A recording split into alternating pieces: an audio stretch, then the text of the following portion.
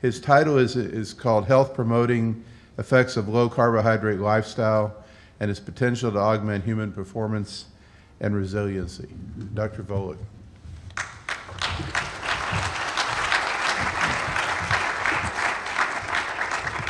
Thank you, Carl, and certainly an honor to be asked to give a president's lecture. So I want to extend a special thanks to my friend Larry Armstrong for um, the opportunity to be here today. So I hope most of you are open to the idea that much of what you think you know may not be true. And certainly that was the case for this Nobel laureate who very eloquently stated half of what we know is wrong. The purpose of science is to determine which half. Moreover, uh, this is a quote from Charles Darwin. When we do identify an error in our scientific thinking, it's critically important that we explicitly acknowledge that and state it. And, uh, and Charles Darwin made this uh, very provocative statement that to kill an error is as good a service and sometimes even better than the establishing of a new truth or fact. And I'm sharing these quotes with you because it hits home with me. Uh, I've been uh, studying and living in nutritional ketosis for two decades.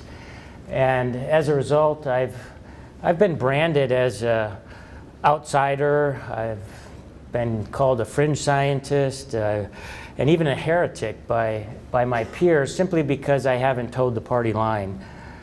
So what I want to talk to you today about is an entirely new paradigm uh, in how we think about nutrition.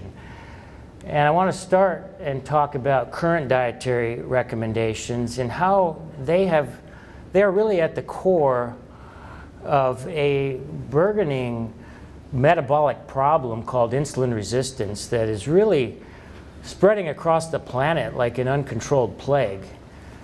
And at its heart, insulin resistant, it's, I mean, it's an incredibly complex at the molecular cellular level. But functionally, insulin resistance manifests itself as a form of carbohydrate intolerance. And overconsumption of carbohydrates, I would argue, is a primary driver of many of the chronic diseases, especially diabetes, but probably heart disease, cancer, and most non-communicable diseases.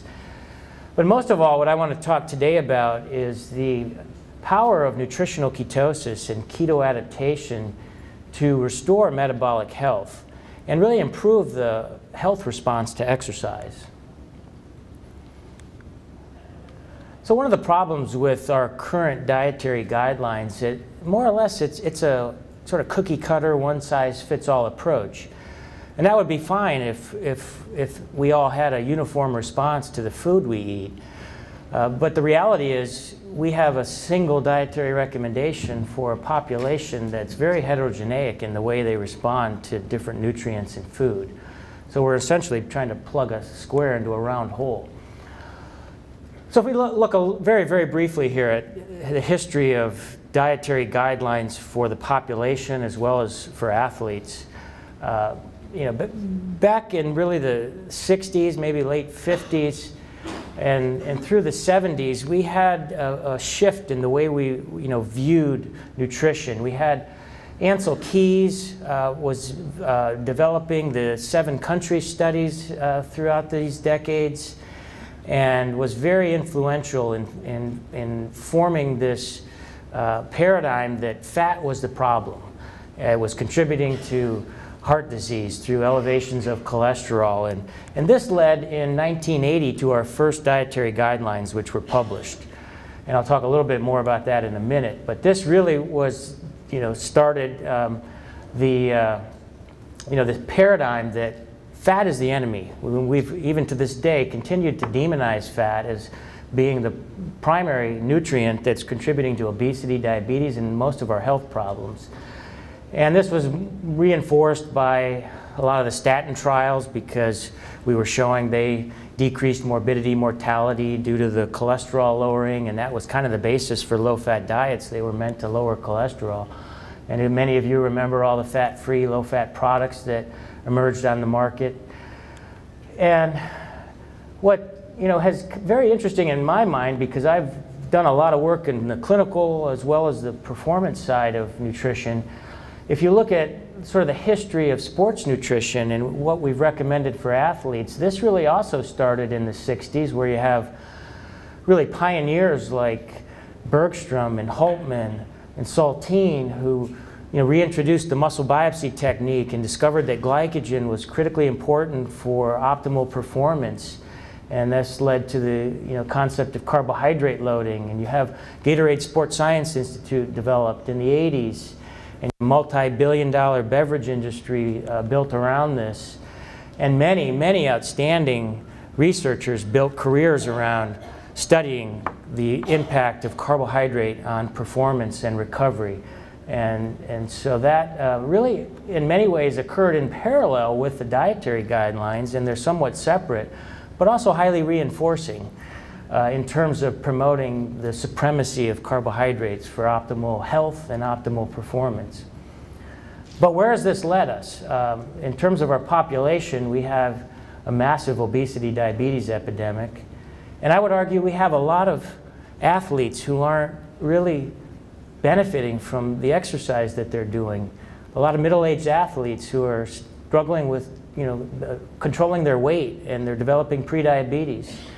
So clearly, you know, I think there's some uh, problems with overemphasis on high carbohydrate diets for health and performance.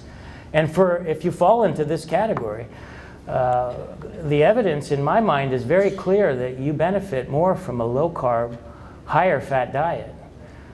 And, and so, you know, when you look at this timeline, you have to also recognize we've more or less indoctrinated generations of scientists and healthcare professionals in this supremacy of carbohydrates paradigm.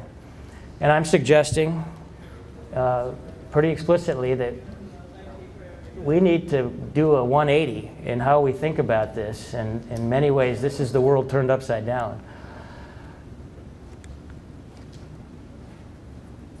And there are many examples where we had firmly held beliefs that, um, that we were just uh, assured that we had to be right uh, throughout history in both science and medicine. And, you know, these are going back quite a ways, but you know, Galileo and the heliocentric universe, um, it was pretty radical idea that the sun was the center of the universe, or the solar system. And, uh, and he was ridiculed for that. And Semmelweis uh, uh, was driven insane by his peers because he um, claimed that surgeons should wash their hands before surgery. And even more recently, uh, we have Warren and Marshall, who were also ridiculed and, uh, and this is despite the fact they had definitive evidence that peptic ulcers were caused by uh, bacteria, not, not over secretion of acid. And yet, despite that, you know, definitive evidence they had, uh, they actually um, uh, developed uh, uh, ulcers themselves and cured it with antibiotics. That did not change the medical practice for treating ulcers for at least a decade. So we tend to be very resistant to, to change, and, and, and that, you know, I think we need to appreciate that. Um, but of course, they were uh, eventually recognized for their work and won a Nobel Prize. So if we go back and, and look at the dietary guidelines in a little more depth here, uh, you know, the first guidelines were published in 1980. The cornerstone of these guidelines has always been based on the diet heart hypothesis that Increases in saturated fat drive up circulating cholesterol levels, which in turn increase risk for heart disease. And we've thrown literally billions of dollars at trying to prove this hypothesis over the last several decades, most notably the Women's Health Initiative, which was a half a billion dollar prospective study. And there are no smoking guns here. I mean, the evidence is very, very weak that this hypothesis is, is actually tr true. And it hasn't been benign either. There are unintended consequences of this um, obsessive, incessant you know, recommendation to lower fat. And, and that is we've, um, we've overconsumed carbohydrate. And in turn, that is contributing to a different metabolic problem, insulin resistance and diabetes, which in turn increases your risk for heart disease. And the more carbs you consume, the more we prioritize oxidizing them while we simultaneously inhibit our ability to burn fat. And that is a key metabolic uh, response that also contributes to poor health.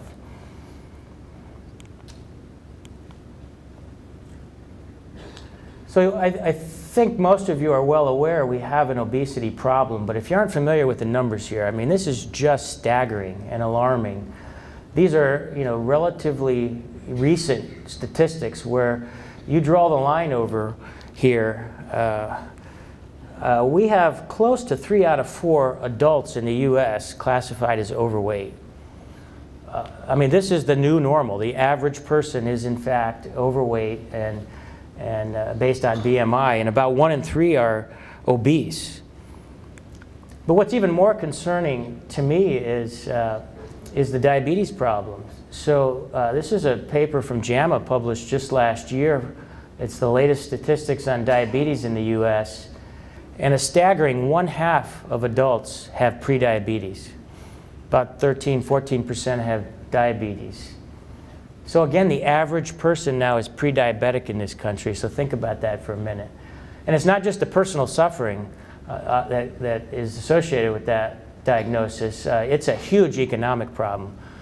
We spend $320 billion today managing diabetes alone.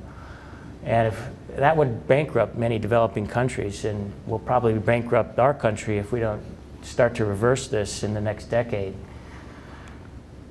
And the, if you talk to physicians and the medical consensus leaders, diabetes is regarded as a progressive chronic disease. Maybe we can slow it down if you pump people full of medications. And that is in, entirely not true. Uh, and I'll show you data later that diabetes can in fact be managed without medication through lifestyle, through uh, diet, and, and to a lesser extent through exercise and you can actually put it into remission and keep it there while getting them off medication. So if we look at dietary patterns in the U.S. over the last several decades, it's, uh, it's pretty clear protein's been stable. We, we actually have listened to the, to the message to restrict fat. It's down a bit, especially saturated fat. But clearly the most salient change in our dietary patterns is an increased intake of carbohydrate about 200 extra kcals per day we consume as sugars and starches. And this isn't broccoli and spinach, right? This is a lot of added sugars and processed starches that we're consuming. And that's not benign. And I, I would strongly argue that is a major driver of, of the chronic diseases, in particular obesity and diabetes, that we're, we're experiencing now. So I want to introduce again this concept that insulin resistance is a carbohydrate intolerant condition. Um, you know, insulin resistance manifests in many different ways, but we often measure it and define it based on its uh, based on glucose metabolism and, a, and, an inability of insulin to to uh, to cause glucose to move into cells. But I want to make the point, you know, this is not a binary situation. You don't have insulin resistance or, or not have it it is very much a continuum uh, and a spectrum where uh, people fall at all points on this continuum. And even within a person, it changes over the lifespan. So we all vary in our ability to tolerate different amounts of carbohydrate. And as we get older, that tolerance generally goes down. And if we look at fuel use in humans, we can, you know, at risk of oversimplifying things here, we can burn carbs or fat. And you know, with current guidelines, we're, with high carb intakes, we're constantly creating a situation where we're prioritizing carb burning at the expense of fat burning. And there's increasing evidence that, you know, as humans, we evolved to prefer to burn fat. And it's a much cleaner burning, healthier fuel to be burning. And of course, you all know exercise promotes fat burning. Um, you know, you could consume caffeine has a mild fat burning effect and thermogenic supplements. But they all pale in comparison to what restricting carbs does. And this is true whether you're a diabetic or whether you're an elite athlete. When you restrict carbs, your ability to burn fat increases markedly. And you can actually, on very low carbohydrate, ketogenic diets, you can have RQs very close to 0.7, 0.72, indicating people are burning exclusively fat 24 hours a day and even during submaximal exercise. And this process of adapting to this type of diet, I like the term keto adaptation, is broadly associated with many different health benefits. Uh, clearly type 2 diabetes, and I'll expand on that a bit more. Um, but at the very other end of the continuum, there's increasing evidence that keto adaptation may play a role in certain um, uh, types of athletic performance. And I'll talk a bit more about that as well. So I want to just define a bit more what, keto, what a ketogenic diet is because there's no shortage of misconceptions. Uh, so if, uh, this is uh, percent carbs on the y-axis, and you've got several popular diets here. Of course, um, the Ornish diet's a, a very low-fat, high-carb diet, and the average American's eating about 50% fat. Uh, Mediterranean diets are very popular and thought to be healthy. They're a little lower in carb. Paleo is a big movement now. It's low carb. But none of these are ketogenic diets. Uh, so a well-formulated ketogenic diet fits more in this space. It's very low in carbohydrate, generally less than 50 grams a day, although that varies from person to person. But it's also restricted somewhat in protein, and a lot of people think these are high protein diets, but they can't be because protein's pretty potently anti-ketogenic. They're not low in protein either. I would say they're adequate in protein, but there is a sort of Goldilocks state there with protein where uh, it is it needs to be limited to some extent. So it ends up being a very um, high fat diet if you're eating to match energy expenditure. And I won't talk a lot about the practical aspects of implementing a ketogenic diet other than to say these are not barbaric diets that no one can stay on. I would in fact argue just the opposite, that they can be highly palatable and in fact uh, enjoyable and pleasurable.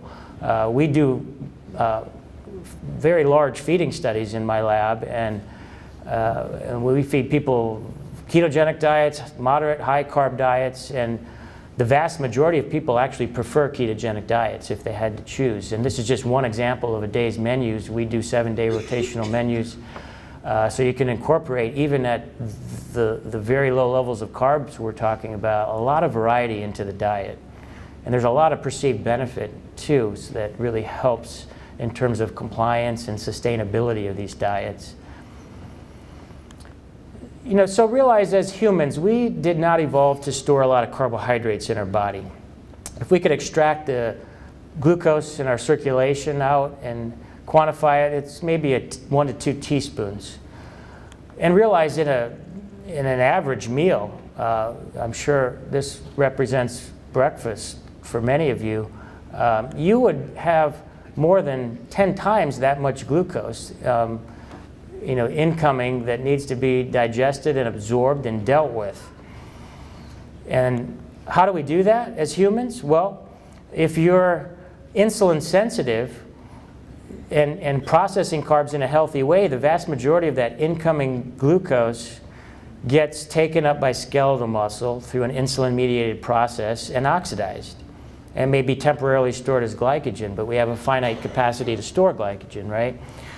And that's fine if you can, you know, if you can do that. Um, but if you're insulin resistant, which is half, half, well, not you guys are not average, so, but half the population would be insulin resistant, there is very good evidence now that glucose is diverted through this alternative or secondary pathway where it's converted to fat through a process we know as de novo lipogenesis.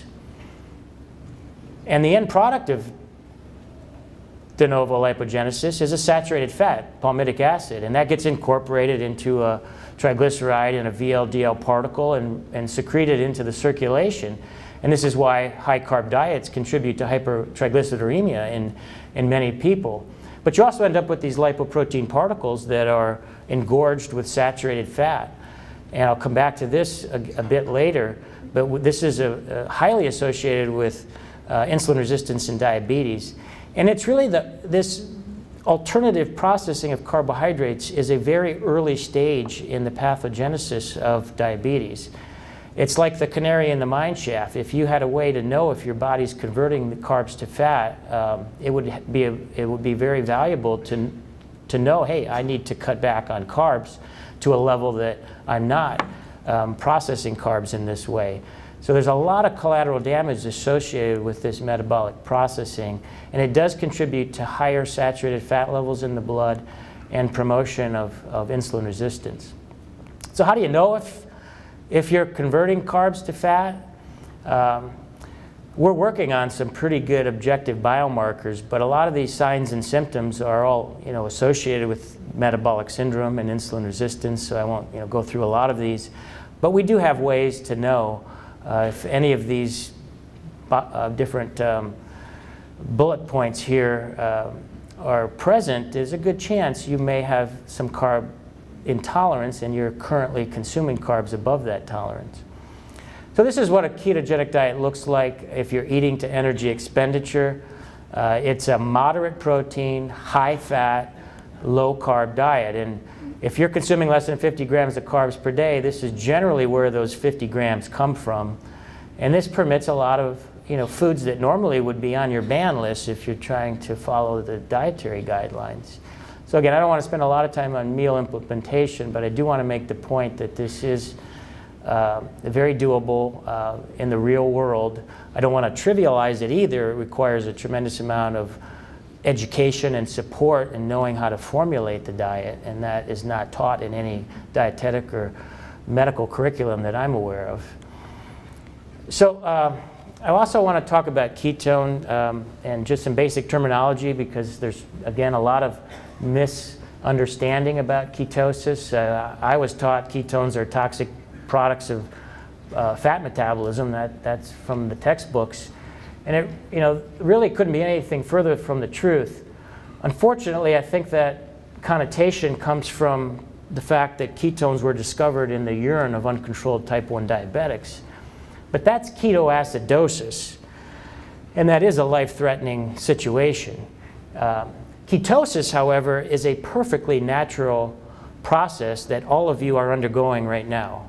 It's, it's a highly evolved, conserved metabolic pathway that was critical during evolution.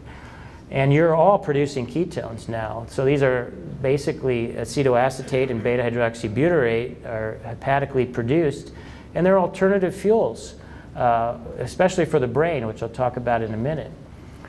Uh, however, if, if you're eating more than 50 grams of carbs, you're probably producing very few carbs. I'm sorry, very few ketones. If you restrict carbs, you enter into a state of nutritional ketosis or starvation ketosis if you're restricting all calories. And that's very different than ketoacidosis, and I'll distinguish those um, uh, further on the next slide. And this process of adapting to a very low carbohydrate when glucose is limited is called ketoadaptation. And it's really a catch-all term because the these are incredibly sophisticated and elegant system we have in place to adapt and, and, and maintain near perfect interorgan fuel exchange in the face of very low glucose availability. So here's the main difference between some of these. So in the fed state, carb-fed state, uh, ketones are very low, less than 0.1 millimole per liter. And if you restrict carbs to less than 50 grams for most people, that jumps up an entire order of magnitude. So now you're going from 0.1 to 1 millimolar, or maybe up to 4 or 5 millimolar. But distinguish that from ketoacidosis, where you often see levels above 20 millimolar. So that's an entire order of magnitude higher than what you see in nutritional ketosis.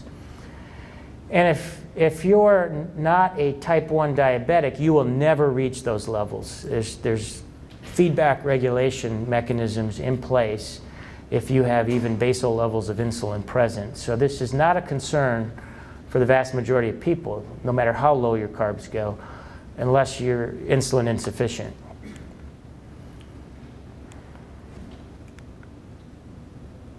Now, a lot of what we know about ketones um, was, was um, worked out in the 60s and 70s. Um, George Cahill was a real pioneer at Harvard um, in studying starvation ketosis. And, you know, again, we read in textbooks the brain is a glucose-dependent organ. And uh, I guess that's true if you're not in nutritional ketosis. But uh, George Cahill did some really um, elegant and, and invasive experiments in humans where they did arterial venous differences across the brain and showed when in healthy individuals who were starved for three to four weeks that the brain can adapt to using over two-thirds of its energy from ketones. And the brain burns about 600 kcals per day, or 150 grams of glucose. And so you can dramatically reduce the requirement for glucose in a keto-adapted state. And you can easily make that glucose through gluconeogenesis. So technically we have no requirement, essential requirement for carbohydrate in the diet. Now I, I, um, I threw this slide in here because it's just fascinating to me um, physiologically. Um, and I don't know why, but George Cahill never published this in a manuscript. It was buried in a, a, chapter that he wrote, I think because you couldn't do this today with IRB boards. But he took this group of uh, healthy individuals who were starved for three to four weeks, and you can see their ketones were elevated at a little over 5 millimolar here and asked the question, what would happen if we intentionally drove their blood sugar down? So he infused insulin intravenously. And you can see the glucose plummet as you'd expect. Uh, they had normal blood sugar 70 to an average of little over 20 milligrams per deciliter. Uh, you know, imagine that. I think, you know, most of you appreciate that would put most people into a coma. And he talked about a few uh, participants who had, I think the lowest person had a concentration of 9 milligrams per deciliter. And the amazing thing is here that these subjects had absolutely no signs or symptoms of hypoglycemia, completely functioning normal, normally cognitively. And so, you know, this plays out in, in uh, you know, in in just the general population because I think a lot of times when you eat carbs for lunch and you you know want to take a nap an hour later, that's that's kind of a mini bonk, right? I mean, there's an energy crisis in the brain. There's an inadequate glucose supply. It's the same thing on a more dramatic scale. What happens when you hit the wall? Um, that's again an energy crisis in the brain. And when you talk to a lot of the athletes that are experimenting with keto uh, adaptation, they become bonk proof. They don't hit the wall. And this is, I think, the underlying physiology that explains that phenomenon. So that, again, that's, that's 50 year old knowledge we have, uh, and it just hasn't been taught and it's kind of been lost. But what's more exciting about ketones has really happened in the last two or three years. So a whole new perspective on ketones. And, and this really started with the paper in Science, published at the end of 2012 by Eric Verdin's group out at the Gladstone Institute. So it was a science paper. It was pretty, uh, you know, pretty involved uh, experiments. Uh, they, they show that beta-hydroxybutyrate, the principal circulating uh, ketone body, was a potent epigenetic modulator of gene expression at, physio- or at levels of that you see in nutritional ketosis. And of course, being a science paper, they worked out the mechanism they showed that it was a potent histone deacetylase inhibitor, class 1. And if you're not familiar with that, these HDAC inhibitors are really hot targets now in the pharmaceutical world. So they're big druggable targets that are being looked at for anti-aging, for diabetes, for cancer uh, drug trials. And here we have a natural metabolite that is elevated by an order of magnitude on a, on a, on a particular diet that's having drug-like effects. So there's been a lot written about this lately, as you can tell by the title here. You know, beta-hydroxybutyrate is now more than a fuel or a metabolite. It's a potent signaling molecule. So in addition to this HDAC inhibition, there have been cell surface uh, receptors identified and a lot of the signaling um, pathways identified. And, you know, interestingly, a lot of this um, is, is very clinically relevant. We see clinically ketogenic diets are very anti-inflammatory. There's now a mechanism here identified recently of how beta-hydroxybutyrate decreases the NLRP3 inflammasome, which is a, a, a pretty uh, popular pathway to study in, in the world of inflammation now. And there's a lot of interest in the effects of ketones, beta hydroxybutyrate in particular, on longevity uh, pathways. So a lot of the pathways identified with caloric restriction are the same pathways that ketones hit. Uh, and, and so there are two papers I'm familiar with that were published last year showing enhanced lifespan. One in C. elegans, when they fed them ketones, they lived 26% longer, and one in an accelerated uh, model of aging in rodents. Uh, and so there's a lot of very interesting basic science here being worked out um, with beta hydroxybutyrate in particular. So I want to kind of jump a little bit now to a different topic. If you look historically, um, kind of going back to that timeline, there was actually a lot of interest in low carb diets for weight loss back in the 50s and 60s. And then with this new kind of, you know, bash fat paradigm, um, you know, funding for low carb work was all stopped. And, and so there was literally nothing published throughout the 70s, 80s, 90s. Three decades of pretty much nothing except for a few uh, exceptions. But starting in about 2000, um, which is when I started to work in this area and published some of the first work, uh, you've now got 16 years, a decade and a half of very consistent research on low carb diets. To the point now you've got many systematic reviews and meta-analysis comparing low carb to low fat diets. So I'm not going to go through a lot of the studies, but here's three meta-analysis, and they all pretty much come to the same conclusion that low carb diets do at least as well and, and usually better than low fat diets for weight loss. And there's a lot of caveats to these studies because most labs do very sloppy dietary interventions with poor compliance and they don't understand a lot of the nuances. But nevertheless, with all that noise, the low carb diets still usually outperform the low fat diets. So you have a, uh, you know, a very large literature base out there. I would say a critical mass of, of literature supporting low carb diets. And I'll just show you this one because it's notable.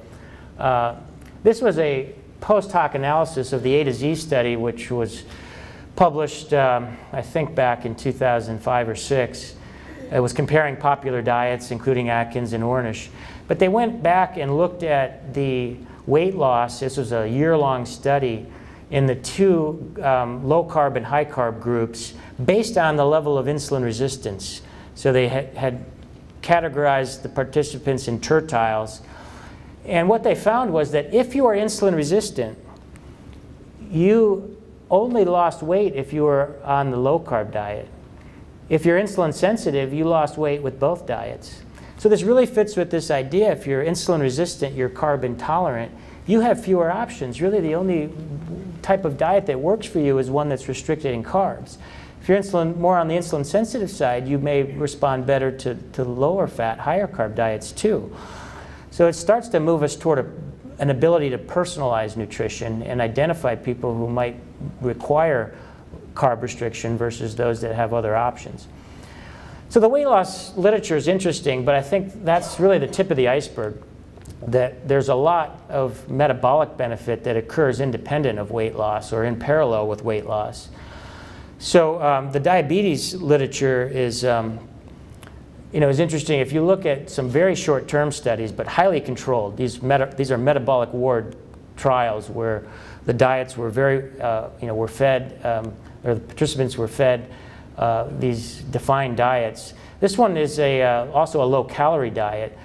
So it compared a very low calorie diet that was very low in carbs, so ketogenic, and one that had enough carbs so it wasn't particularly ketogenic. And you can see the ketones are 3 millimolar on the 24 gram and lower on the 94 gram. But it was only the ketogenic low calorie diet that resulted in improved glucose control. And, and they actually measured hepatic glucose output here and showed a 22% reduction. And that's, you know, that's one of the cardinal features of insulin resistance is, a, is a, an enhanced hepatic glucose output. And interestingly, that improvement in hepatic glucose output or, or decrease in hepatic glucose output was strongly correlated to the elevation in ketones. And this is another very similar study. So it's not just low calorie. You can't, there, there's a difference between the type of calories. That's what this study shows. This is another very well controlled short term study uh, by Boden. And they showed after two weeks dramatic, uh, you know, stabilization of bl blood sugars over the day uh, versus before going on the ketogenic diet. And uh, they actually measured insulin sensitivity with the hyperinsulinemic clamp and showed a 75% improvement in just two weeks. So again, these are short term, and the question that inevitably comes up is, uh, you know, can people stay on these diets? And there is a very nice study from Kuwait that um, had a very, I would say, well-formulated ketogenic diet in that they, they, they prescribed the right types of nutrients and types of fat uh, and, and showed dramatic short-term improvement with the ketogenic diet that extended out to over a year. So you see very significant and continued weight loss over a year and maintenance of, of relatively normal blood sugar out to a year. So we're putting a lot of the diabetics into remission and keeping them there as they um, you know, we're, we're compliant with the diet. And I can't share a lot with you, but I can let you know where I'm currently involved in a 400 plus patient clinical trial where we have diabetics on a ketogenic diet over a two-year period. And we are seeing the same type of an effect where the vast majority of them have put their diabetes into remission, which is again, more or less considered impossible. What's even more impossible is that's occurring while they're getting off medication and while they're losing weight. Because the usual way we maintain normal blood sugar in a diabetic is to pump them full of medications, and one of the side effects is weight gain. And we know that's not benign. So diabetes is clearly one area where we need to utilize this tool, but want to give you just a, a bit of a per perspective here that interest in ketogenic diets is exploding uh, in, in, different areas of, of, of, uh, of, medical management of different diseases. So uh, not just type 2 diabetes, but it even works in type 1. Um, it's a little trickier because you have to really manage the insulin very um, uh, carefully, but type 1s can use much less insulin and have more stable blood sugars. Uh, but I would say one of the more exciting areas, and this is an area that we're pursuing uh, at uh, OSU, is cancer. So this is going back kind of to the Warburg effect, that cancer is a metabolic disease and that many tumors are reliant on glucose as a fuel because they lack a lot of the uh, you know, full complement of oxidative enzymes. Moreover, a lot of cancers uh, and the mutations that occur in, in cancer are exacerbated by hyperinsulinemia. And so we're not only decreasing insulin, we're decreasing insulin action and, and signaling.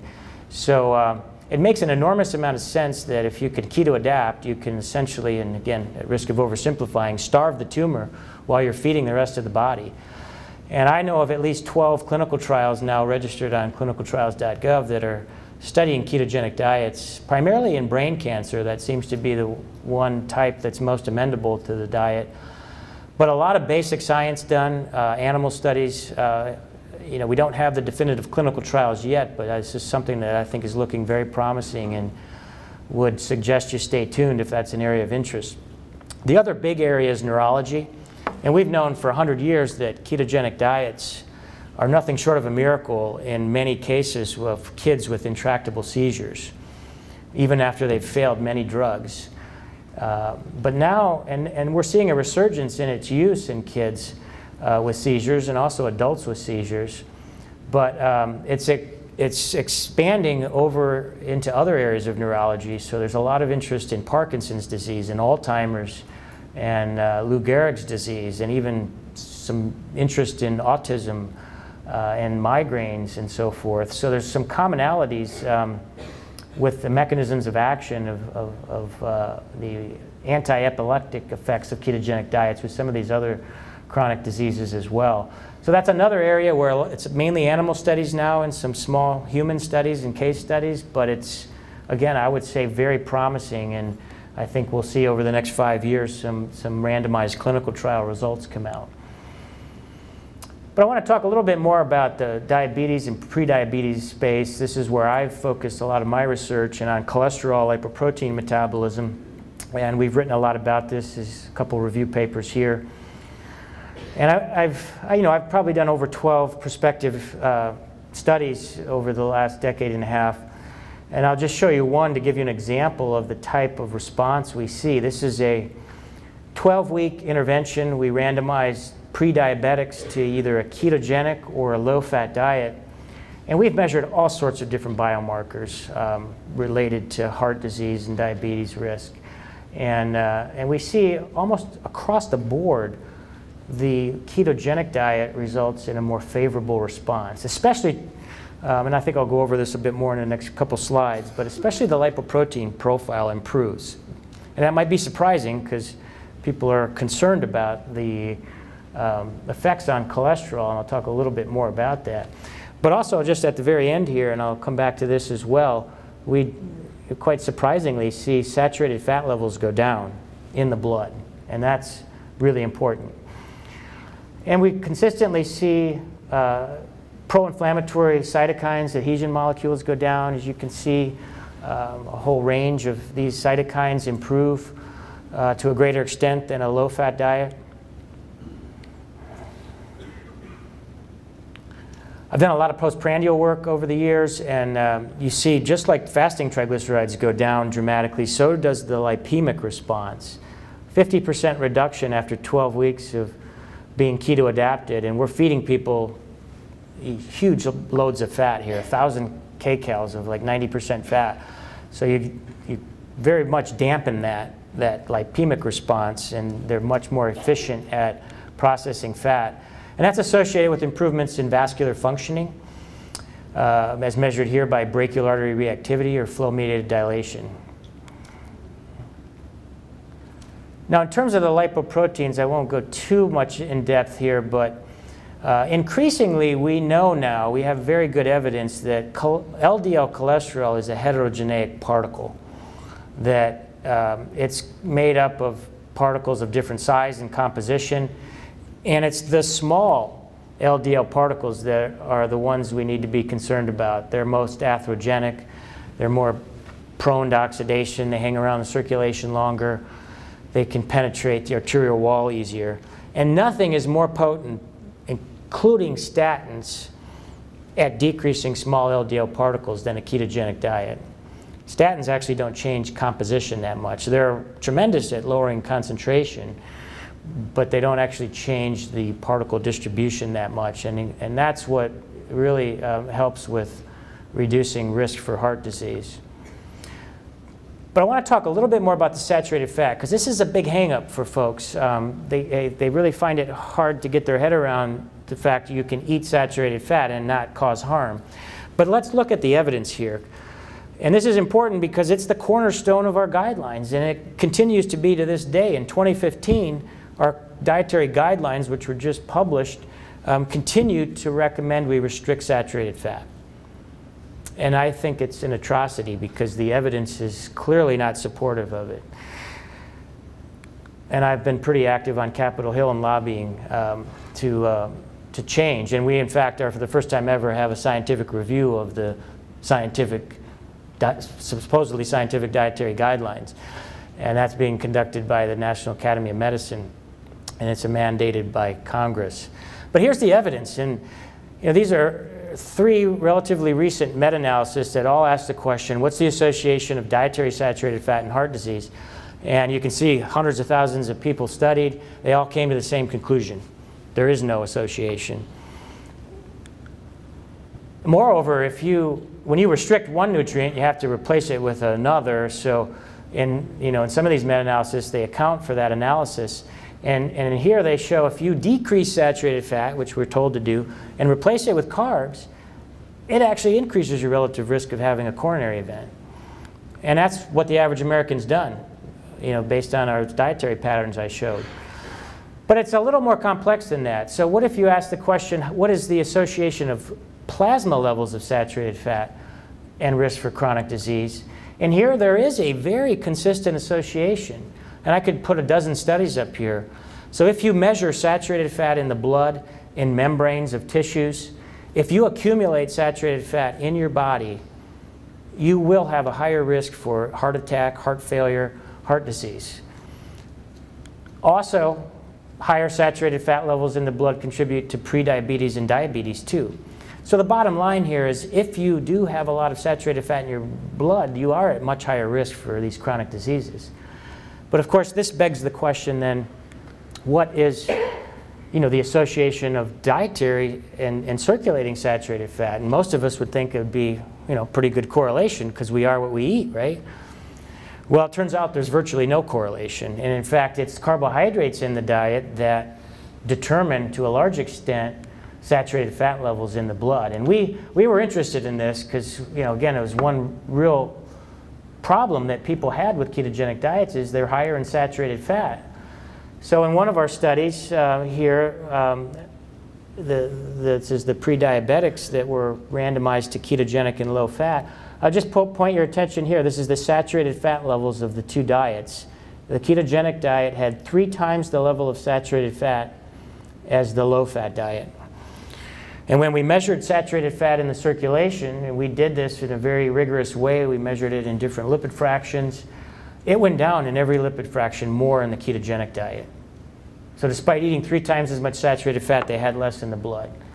And we verified this in two additional studies, in two of them feeding studies, and we did this under hypocaloric as well as isocaloric conditions. So if you're scratching your head, you know, how, how can this be true. How, seems paradoxical.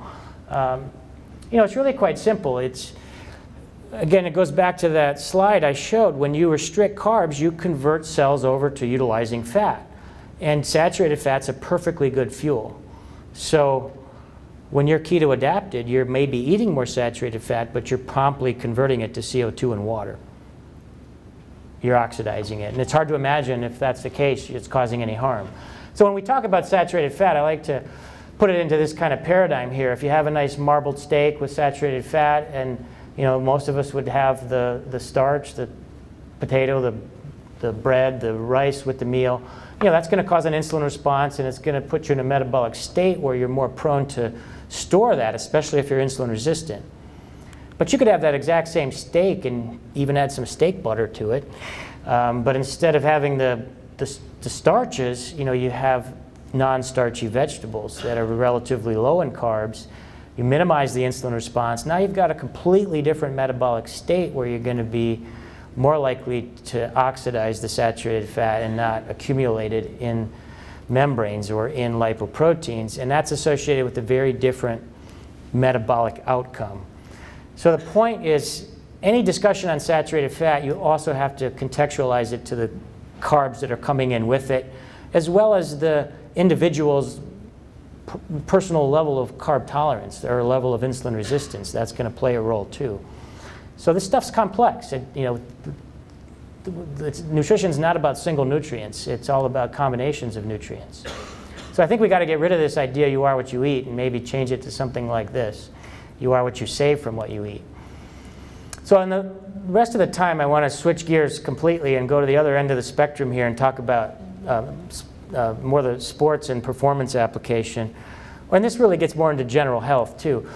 But um, you know, there hasn't been a lot of research on this. And my good friend um, Steve Phinney really published uh, a watershed paper back in 1984 uh, where he had the uh, you know, he had this idea that you know keto adaptation uh, might work in athletes, and he um, he recruited some very high-level cyclists to go on a ketogenic diet. This was a metabolic ward study. As you can see, they're very low in carbs, and keto adapted them for four weeks, and measured performance, uh, time to exhaustion, and showed quite to his surprise, I think, and, and certainly um, most other people, uh, there was no decrement in performance.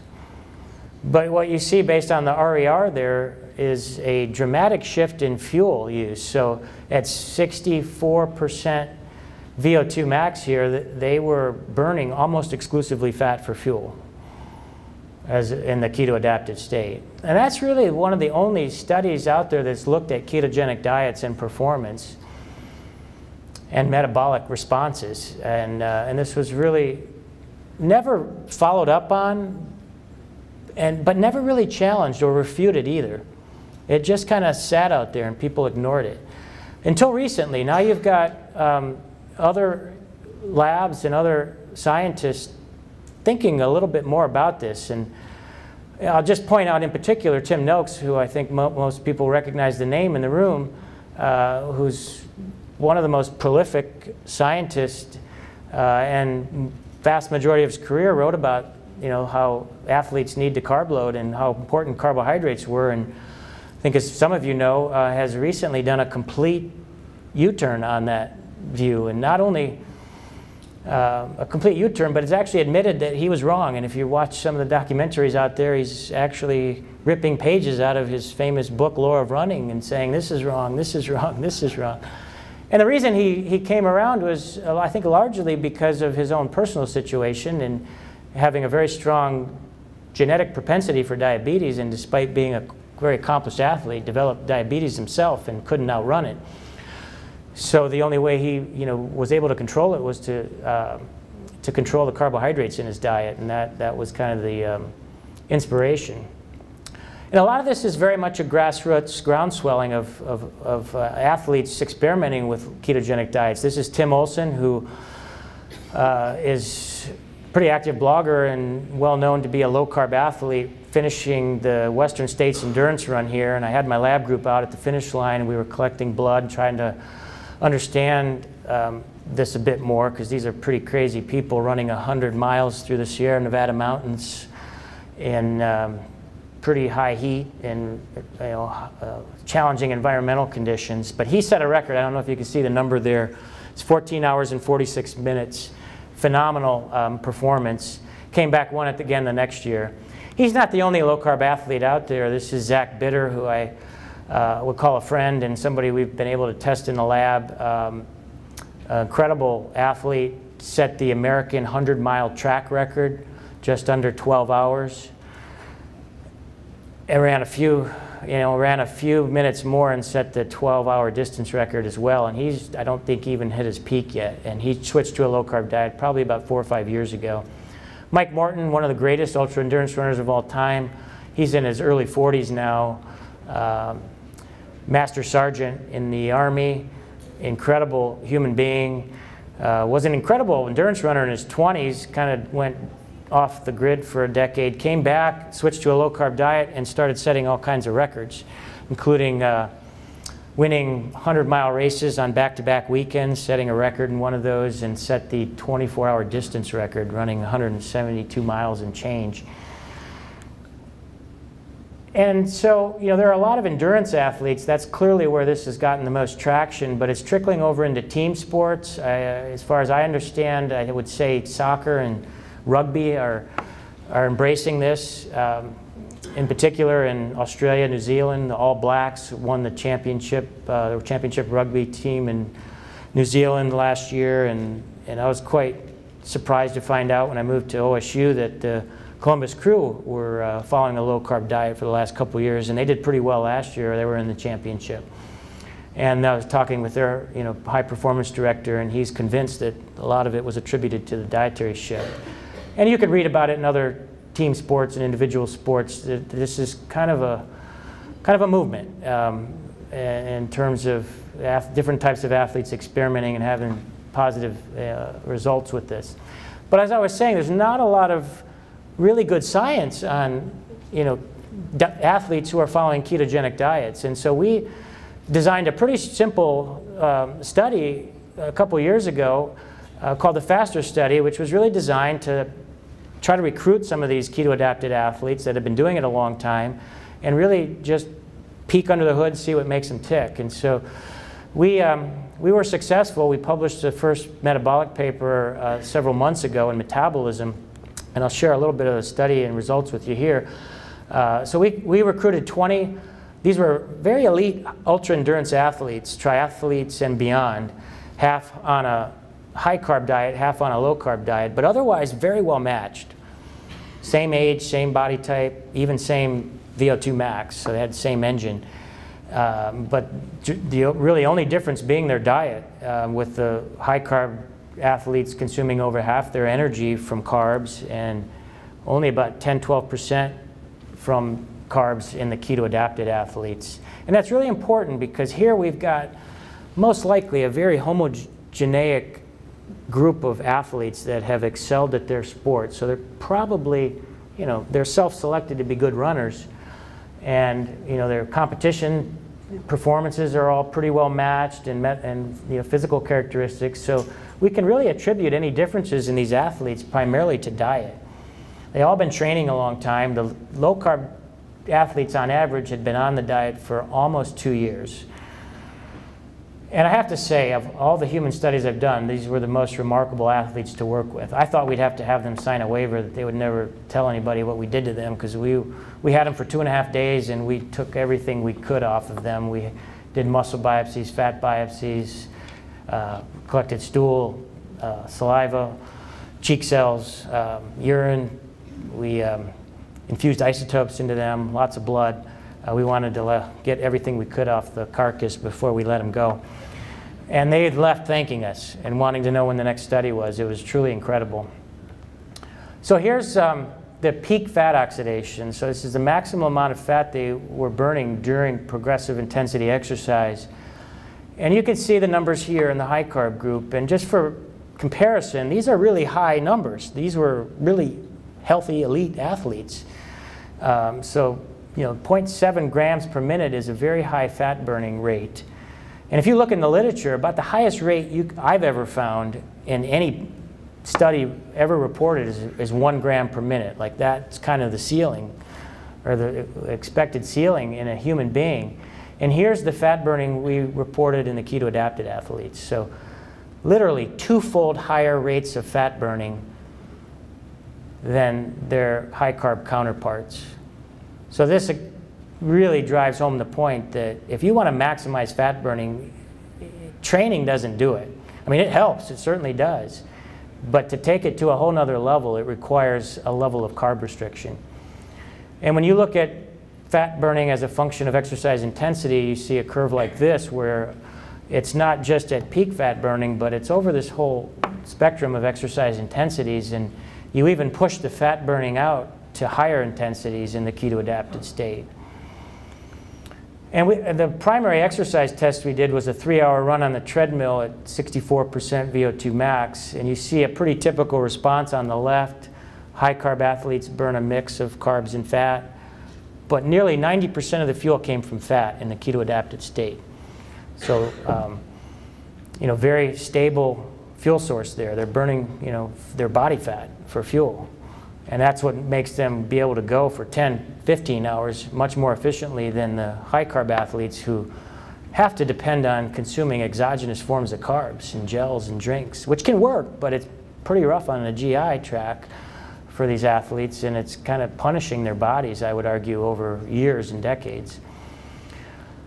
Uh, here's their ketone levels. As you'd expect, they were quite a bit higher, and you get the post-exercise ketosis we did a lot of circulating measures. I won't go through a lot of them, but just to show you glycerol as sort of an indicator of adipose tissue lipolysis was almost twofold higher. So that makes sense. They were more effectively breaking down uh, their peripheral fat stores. But one of the most unexpected findings in my really entire scientific career, and I'm still scratching my head a bit about this, is the glycogen data. So essentially, we show no difference at all between high carb and keto adapted athletes in resting, immediate post exercise, and two hour post exercise glycogen measures. So this is, uh, I won't get into a lot of speculation here. We have some ideas what might be happening, but there's no doubt profound adaptations here in glycogen metabolism in the keto adapted state. And clearly they're not using this glycogen for fuel. If you start to do the uh, the, some calculations on the amount of glucose available from glycogen here, uh, it's over 100 grams more than the total glucose they oxidize. So you have to ask the question, where's it going? And it's clearly not being terminally oxidized, but we think there are reasons that the keto adapted athlete would break down glycogen for other purposes than ATP generation. And you can see it's very consistent. This isn't a couple athletes driving the means here. That It's a very uniform response. The standard deviation on the resynthesis rates are one-third they are here in the high carb. So it's very uniform. And it's amazing, there's no carbs provided really after exercise, and yet they're resynthesizing carbs. And we think that may be lactate or glycerol being used as a precursor for glycogen.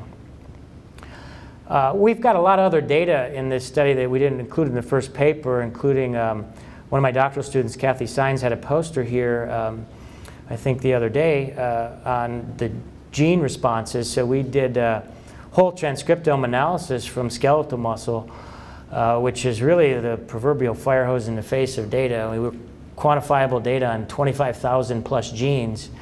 And there's clearly a set of genes that are I, the way I view it is they're basically put to sleep by carbs, and when you restrict carbs, these genes suddenly upregulate. And it's, it's interesting when you look at the different pathways they're involved with. Some of them make a lot of sense if they're related, as they're related to lipid oxidation, but others um, kind of maybe provide some insight into other aspects of keto adaptation. Uh, so these are just a couple of the genes I'll, I'll skip through that were the most significant. We also did um, a targeted metabolomic analysis from skeletal muscle. And this was a little more easier to get your head around. We were able to, uh, to measure 378 compounds of known identity with the metabolomic analysis. And of those, almost one third were significantly affected by diet. And these were you know, as you would expect, related to metabolism and fatty acid oxidation, ketogenesis, and carbohydrate, and even amino acid metabolism. So this is a very profound stimulus for changing metabolism here based on this metabolome or skeletal muscle metabolome. And we've kind of stayed in touch with a lot of the athletes. I'll just point out that at least two that we know of, of the high carb athletes that participated in our study, um, communicated with us and switched to a low carb diet after the study. And I'll let you kind of read through the quote here, but it's pretty clear they've they had a very transformative experience to switching over. And, and here's the other quote from another high carb participant who switched and won a 100 mile trail race uh, and set a record. So, uh, Again, this is more than a few testimonials and anecdotes, but we do need a lot more science on this. Uh, and we've, we have dabbled in this before this study in terms of a resistance training study we did a while back. And so there are high intensity athletes can do this as well, where we had um, college aged men do a resistance training study with a low carb or low fat diet. And we also had a group that didn't train. And this is the change in body comp. And Basically, the group that trained and consumed a low carb ketogenic diet had the greatest improvement in body composition. So they lost the most fat and they actually gained some muscle, uh, translating into you know, these larger reductions in percent body fat and no compromise in strength gains and improvements in other um, cardiometabolic risk factors. And I think I'm running out of time, so I won't go through these in great detail, but um, you know, there are a lot of reasons we need to reconsider low-carb ketogenic diets for athletes, not just based on the fact that there are a lot of anecdotal um, data out there to, that are certainly provocative, but there are a lot of metabolic and physiologic reasons why it makes more sense to be in a fat-adapted state or keto-adapted state. And so this is not simple stuff. There's a lot of physiology to sort out here. And that's kind of the point I want to make um, in the next slide here. But I just wanted to state here, uh, you know, this is more than just helping athletes run a marathon or triathlon a little bit faster. There's a tremendous application here, I think, for other um, professions that are physically demanding, in particular our military uh, and our special operations soldiers who are facing multifaceted stressors, physical, cognitive, emotional, environmental, uh, etc. And basically, being keto adapted enhances your ability to cope with stress and to be more resilient. And so we've got some studies underway to, to, uh, to try to understand this a bit better and see which aspects might be most relevant for soldiers.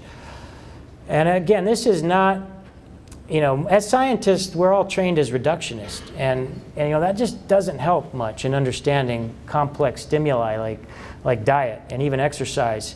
So this is not working through one receptor or one pathway. This is very pleiotropic in the way ketogenic diets and keto adaptations affects outcomes like performance, like metabolic health, like recovery. And so there's a lot to sort out here uh, in terms of ongoing and future research. So with that, I, uh, I hope I convinced you um, a little bit to uh, appreciate that you know, carbs are great. I love carbs as much as anybody, but we all don't tolerate carbs in the same way. And, and when we're over consuming carbs above a level we can oxidize, that is causing a lot of problems, a lot of metabolic problems, not just obesity and diabetes. And from that, the logical approach to managing, improving health is to restrict carbs. And not everybody needs to restrict carbs to a ketogenic diet. This is where personalized nutrition is so important, but it is worthwhile to make the point that ketogenic diets are uniquely potent at restoring metabolic health, if you, especially if you are diabetic or, or highly insulin resistant. And again, this is variable across the board, um, and everyone needs to kind of figure out what their own carb tolerance is. And you need to be aware it may change over time, where in your 20s you do fine with high carb diets, in your 40s and 50s suddenly you're developing metabolic syndrome. And so it does change. It's a bit of a moving target within a person as well. So finally, I, I have so many people I'm grateful for. Um, I won't list all these and go through names, but I will point out I've had tremendous um, students and team members that um, you know all this research was pretty much done on their backs, so I, I, can't thank all of the students enough. And I've had some really key collaborators. Uh, I'll just mention a few by name, William Kraemer, Steve Phinney, Carl Maresh, um, you know, really just so supportive of all this work and, and even better friends. And my wife, too, has been a big part of a lot of this science uh, and been supportive uh, of, of all this work and my travel and obsession with this topic. So with that, I'll uh, stop, and if I'm permitted to take questions, if there's time, I'll be happy to do that.